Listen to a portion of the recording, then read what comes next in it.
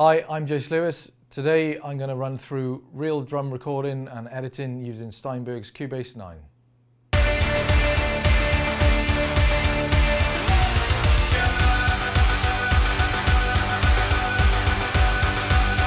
So this track is called Shields um, and this song was, uh, it began its life uh, as a rhythmic drum pattern first of all. So um, very important that, uh, that I recorded the drums first and that that uh, dominated the, the, the, patterns and the time signatures of where I headed.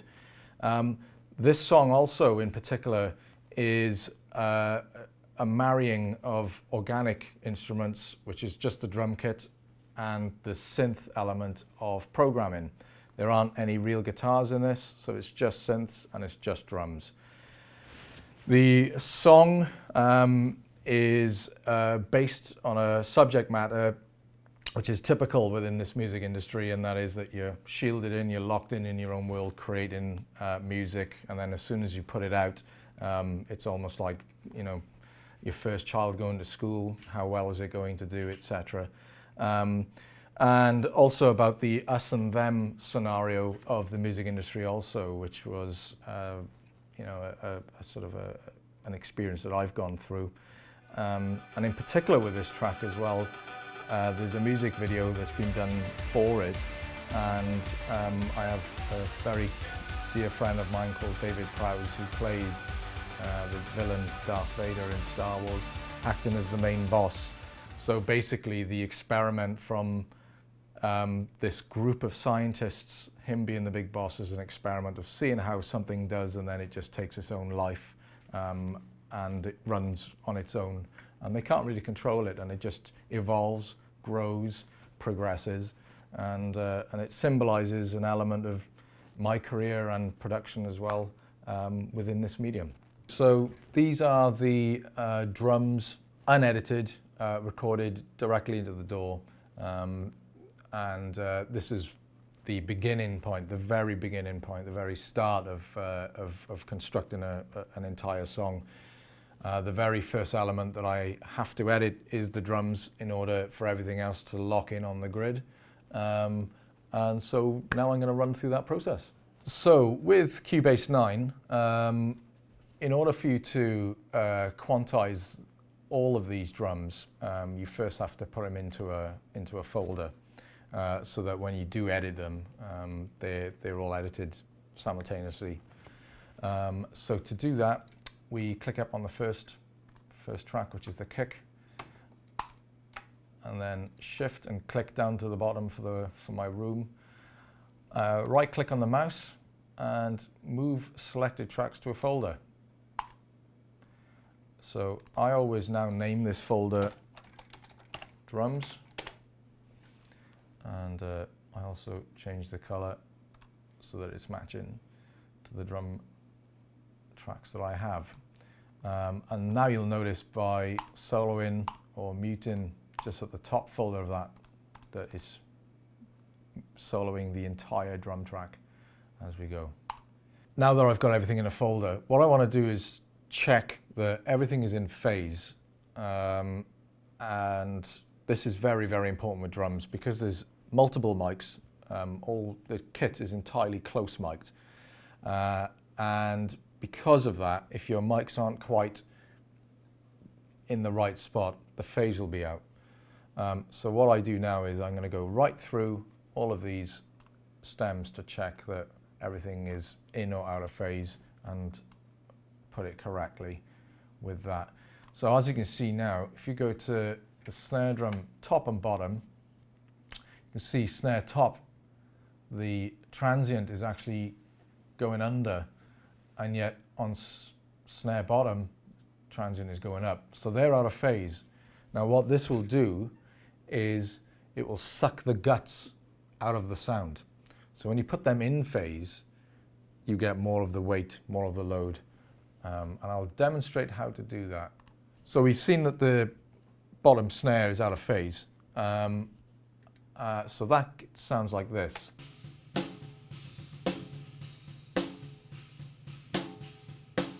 Now you might think, sounds okay. But to the trained ear, um, what we do is uh, I get my EQ up uh, and I get my SSL channel strip. Uh, this is by Waves. So on this channel strip is a reverse polarity button, uh, which is phase ultimately. And the difference is quite surprising. So this is the snare um, out of phase, now in phase.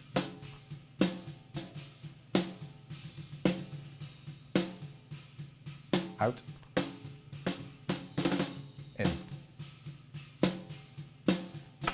So the difference is quite a lot. You've got more weight um, and uh, it's not sucking the guts out of each other. So that's phase. The importance of phase um, is that, for instance, when you go to EQ your snare, for an example, you will try to add more and more bottom end in the EQ. You'll try to add a, a bit more 20, 220 hertz or something like that. You're artificially adding a frequency or, or an effect that really is papering over a crack. The problem is that the, the, the phase is out in the first place. So by checking the polarity um, and the transient to see where it is, which is, you know, which is great about digital audio workstations, is that you can really zoom in and you can see that your transient top and transient bottom are not going in the same direction. If they're opposite directions like that, that goes to show that your phase is out. Phase will also be an issue with guitars. Anything that you've got multiple mics on two mics, you've got to make sure that they're in the exact same spot. Um, and with drums, no, drums are notorious for it on overheads and, uh, and you know, and snare drums as well. We've got two mics. Um, it's quite a lengthy process to make sure it's got right, but you need to start with that process first and make sure that the, the ground is solid um, in order for you to EQ and, and develop your production further. So just Checking through the other parts of the drum kit for phase, um, the overheads, left and right. Uh, perfect example, uh, you can see that the transients here dipping down and going up at the beginning. So, and everything else looks pretty good. So that's our phase all checked. The next process now is to edit and quantize um, the drums. This is a pretty involved uh, section of, um, of editing real drums. The importance of quantizing is to make sure that your drums are snapped perfectly onto grid. Um, I've played these drums and played them to a click track and they're not perfectly in time. They're out by a thousandth or, or whatever of a second. So we need to really pull them in on grid um, in order for our workflow to carry on um, and to be perfect on grid so that our production is tight and solid. So we're going to go into editing the drums and um, for this we need to um, go into the hit points of each individual um, stem. Um, for this we've not grouped everything um, so we're just going to double click on the stem. This is the kick drum. You'll notice on the left hand side we've got threshold what that enables us to do is to help the software to be able to just decipher what is just a kick instead because naturally when you're recording any organic instrument, especially drums, everything else bleeds into it. So you've got snare, um, cymbals and, and, kick. So what we do is um, we go in on this part and this is just our kick drum and we open up the threshold just to get the hit points of the kick. Now later on in the song, I have snare coming in. Um,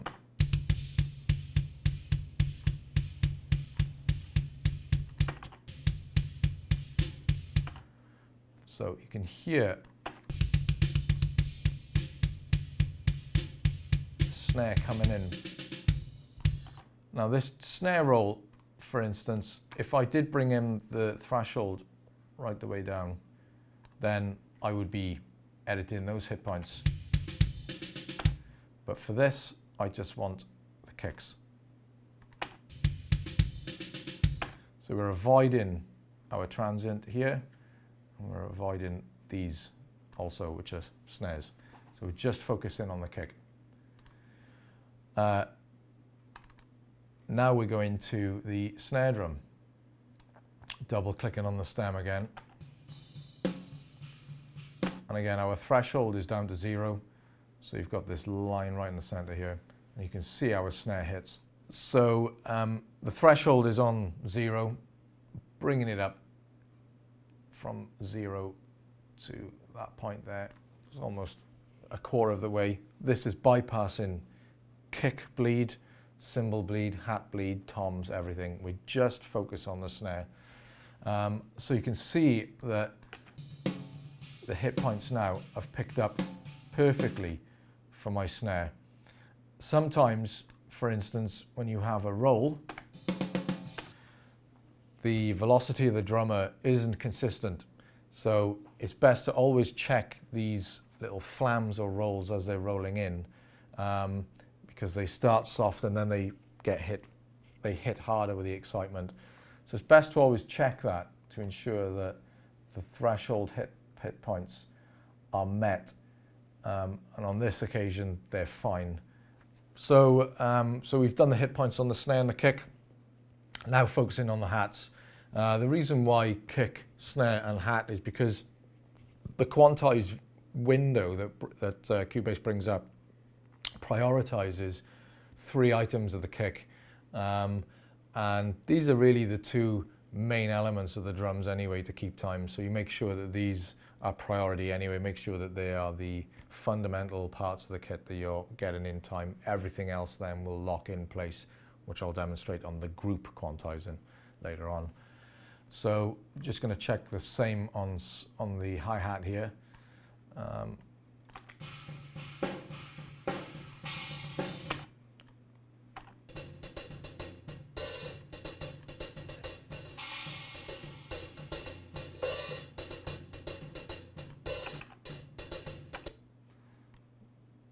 so we loop that and zoom in and get the same on the hats.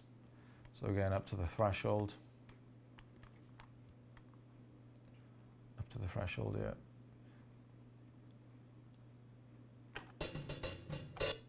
Now there are multiple different thresholds on, on this. So essentially what we want it to do is pick up the main elements and it will lock those into place and I can really zoom in later on meticulously and get into the to the other parts and pull them in on on grid. So right now we just want to, the, uh, the, the fundamentals of the kit pulled into to time. And that's the hats done. So that's all the hit points selected. So you'll notice that I've just focused on the kick, snare and the hat as being my three focal hit point selection for the entirety of the kit.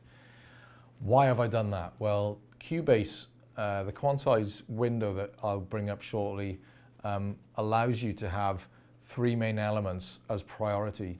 So when those three main elements are prioritized, which is the kick, the snare, and the hat, everything else is simultaneously sliced at the same time.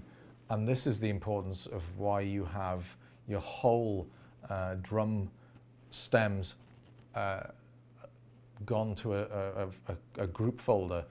So when you select the group folder entirety in its entirety and the entire um, kit is then selected, the slice will, the slice tool will slice the entire kit and snap everything into place on the grid.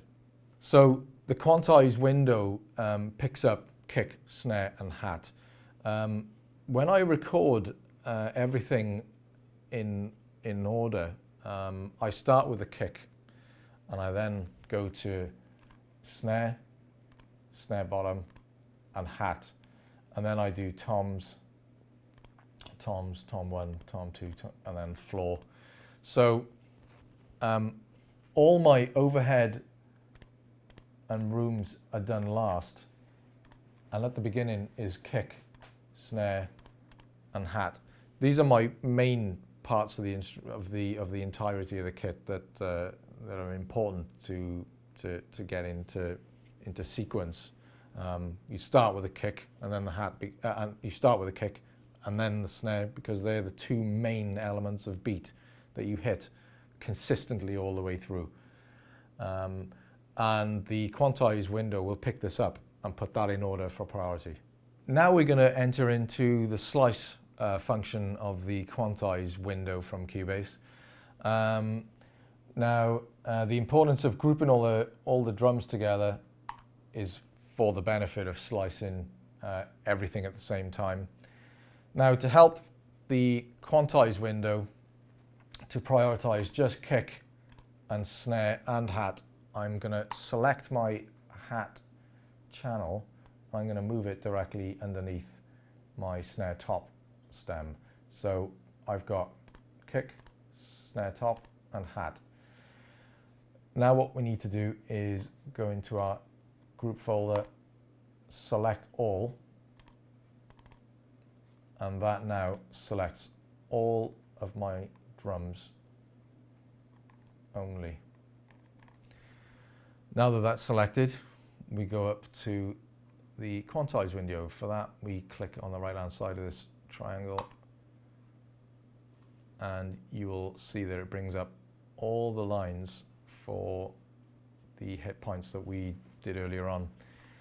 The important thing to notice here is kick, snare top and hat are the three prioritized um, elements that need quantizing and you can see that they've prioritized the kick as the most important and then in sequence snare top and hat.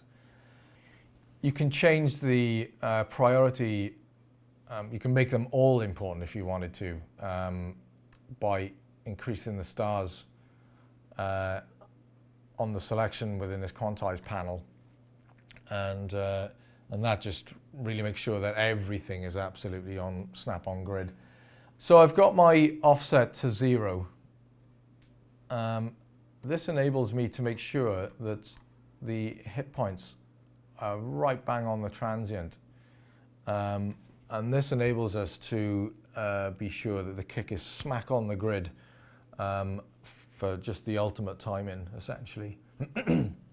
so if I was to play you um, the kit prior to me slicing, um, you will hear that it's slightly out with the click track.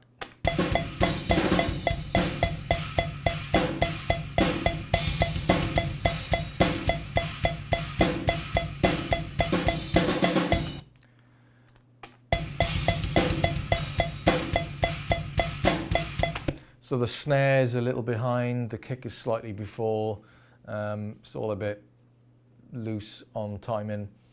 Um, so now that all our hit points are selected and we've got our quantize panel and the offset is zero, what we do is go to slice. And that is now sliced the entire lot up right from kick to the very last track, which is uh, room mono. Um, and we then go to the bottom part, which is quantize, select that, and that then pulls everything onto grid. Um, and the difference is quite telling. So here it is quantized.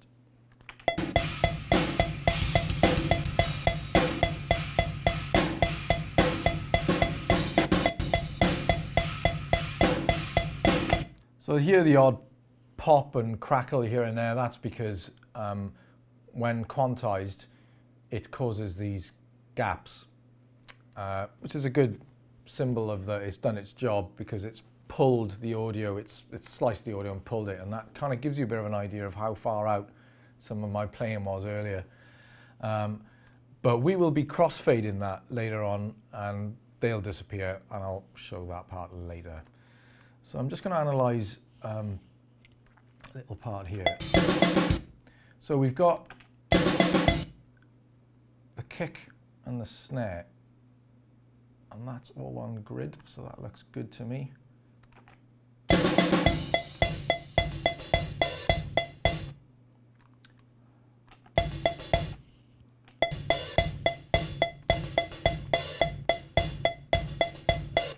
Now, as you can see here, it hasn't picked up the hit points of that. That's probably because the um, velocity of that when I was hitting on the hat was just so weak um, that uh, that the it would have um, be a detriment to the to the hit point selection. So an easy thing to do there is to go in manual, and this is something I like to do time to time. So I lift up the waveform and I can see that my transient is here. Now I've gone into selecting the scissors and I've cut that part. And again, so how we know this is a transient is when you zoom out, you can kind of see that the, the transient starts to break up and create the waveform, which is not... And what we do is select on that. That pulls it in. Now, the beauty about that is that you can see that the grid is here underneath. So I go up to here, this is my snap properties, and I select the audio and it snaps it onto the grid. This will really ensure that the, the, the, the, hits are smack on the grid as we like. I can see that this hat is also a bit loose, so take snap properties off and this gives you the free range so that the cursor doesn't snap to the grid. Put it here onto the transient. Zoom back out. And now that hat is perfectly in time. Absolutely perfect. More perfect than ever.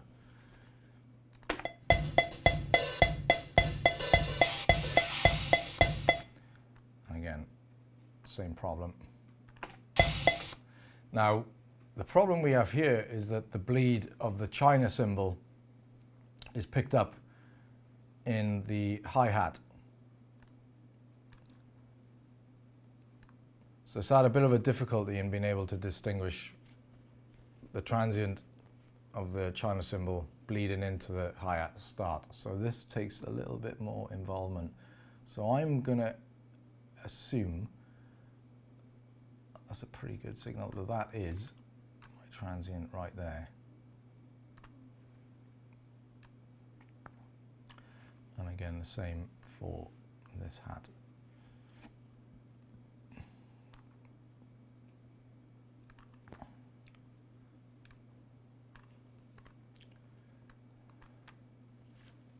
Snap properties back on.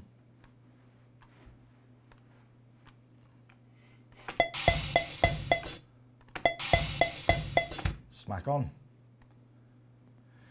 Now this will only ever really work on hats in between a kick or a snare strike because they're the most important things. So say if that hi-hat was landing on a kick, the more you need to do is scroll up and make sure that the kick is absolutely on point with that. So that is the most important thing over anything that's overheads.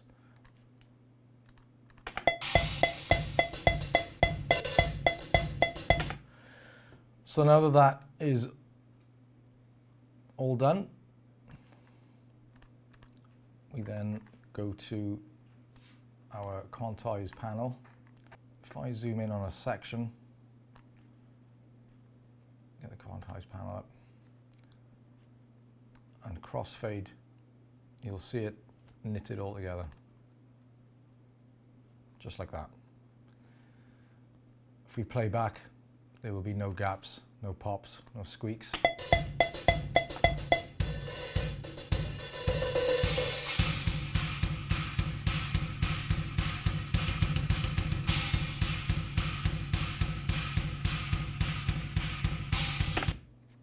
Perfect. Now that everything is crossfaded and knitted together, um, what I now do is I go into my library of snare drums and kick drums um, that I've done previous uh, on this session and I like to trigger up the snare. So I'll grab the snare um, solely just on its own and I will place that underneath my snare drum and copy and, and paste that all the way through. And that just basically strengthens up the snare and the kick. Um, so just like this. Take group off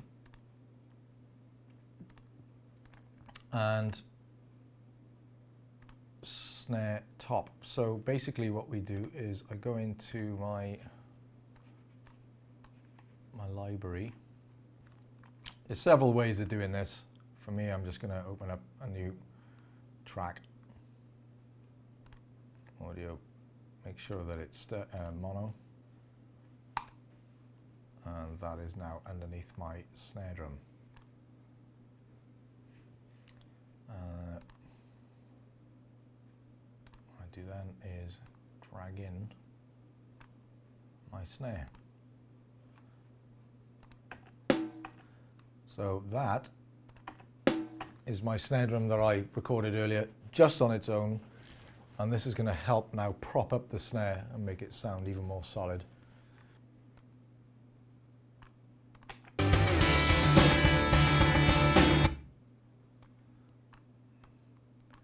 You can see I'm placing the snare underneath each every other snare that I've got. So we, here we have a problem where we've got kick first and snare later. This is a kick snare issue. A lot of drummers play kick and snare simultaneously and never ever get it in time uh, or hardly ever in time. Now, if the snare was first and the kick was later, we could just pull in the kick to pull on top of the snare. And because it's being triggered up it'll help the weight of the kick. But you can't be selecting a snare and pulling that around because the, the phase will be an absolute nightmare. So what I'll do on this situation is try and find the best kick and snare land that I've got. So so there right there right next to it is actually the best kick and snare it's quite close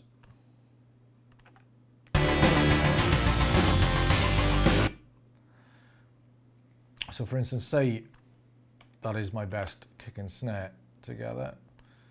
I will then go back to the one that isn't so good. It's miles away. Because I've got snap properties on, I've copied it. Make sure I got kick. And it's replaced it.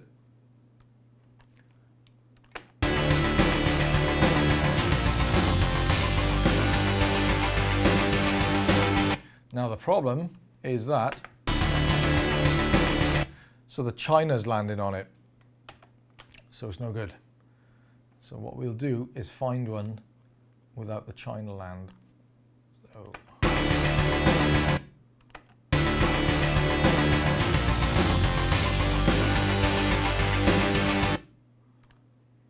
that one there.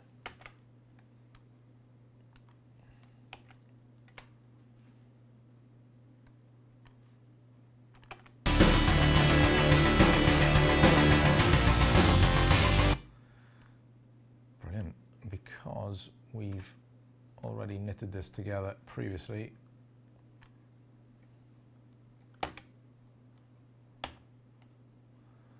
I select the whole thing and press X and then that knits it back together again.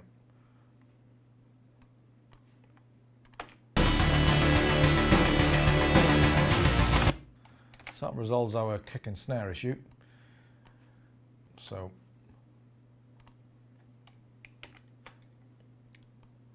grab our sample rates.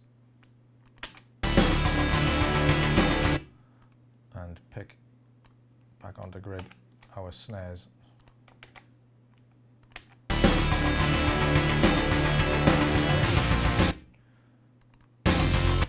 This helps.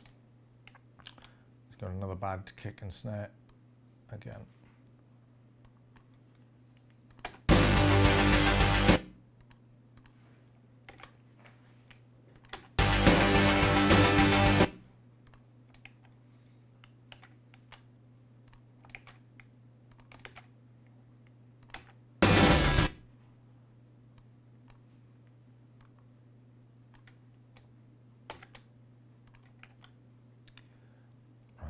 So you see how that snare then automatically jumped to the next one. That's because our grid is on eights. This is a 16th. So what we wanted to do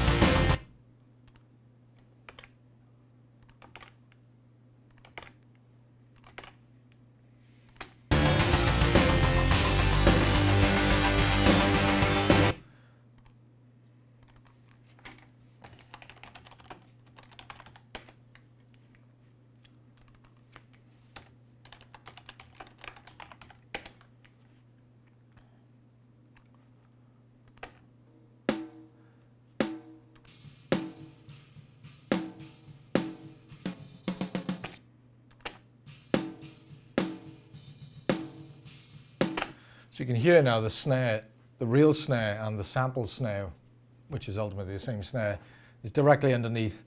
and this helps further the production for EQing um, and, uh, and just giving that snare even more weight. So we'll do the same now for the kick.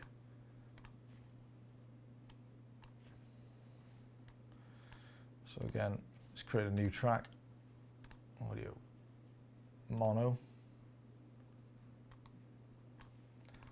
Call that kick samp.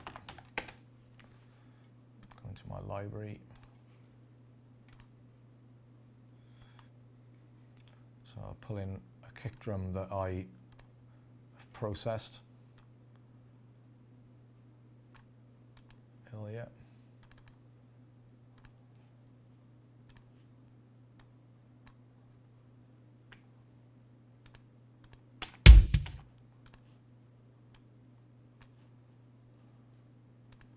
Earlier. again, copy and paste with your snap properties on.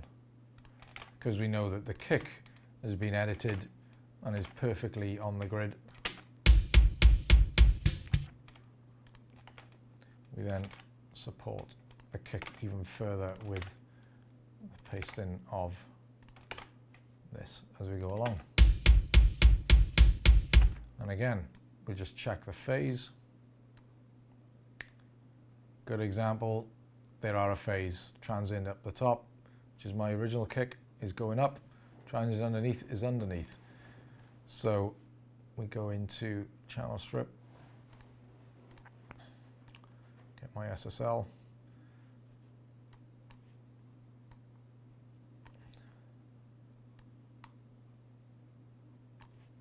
Loop this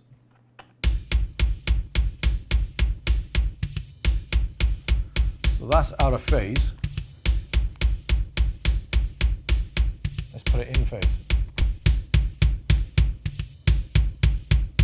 So that's in phase. Out of phase, sucks the guts out, in phase, strength. So they're now perfectly in phase.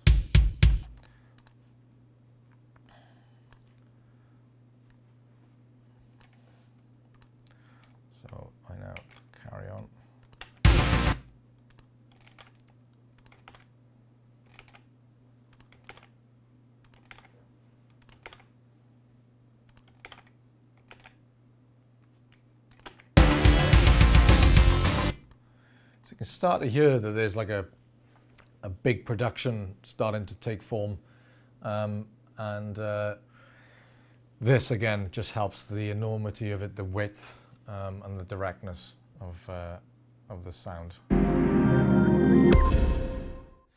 Okay, that's all we got time for now. Uh, see you at part two.